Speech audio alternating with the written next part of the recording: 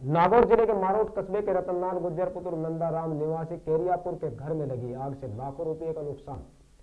वहीं मिली जानकारी के अनुसार रतनलाल, गुज्जर की हालत पहले से भी नाजुक थी। अब ऊपर से प्रकृति का कहर किस तरह से वो झेल पाएगा? वहीं आपको बता दें कि रतनलाल के परिवार में पत्नी और चार बेटियाँ हैं।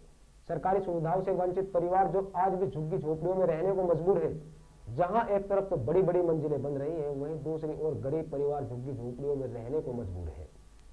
इन परिवारों को सरकारी सहायता नहीं मिल पा रही। मारोड के नज़दीकी ग्राम किरियापुरा में आज सुबह करीब बारह एक बजे के बीच में घर में चूल्हा बनाती हुई औरत को पता ही नहीं चला कब जुपे में आग लग गई।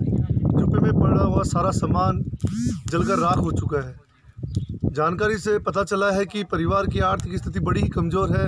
परिवार में पति पत्नी व चार बच्चे हैं जो आर्थिक स्थिति से बड़े कमज़ोर हैं। आप आँखों का हाल देख सकते हैं।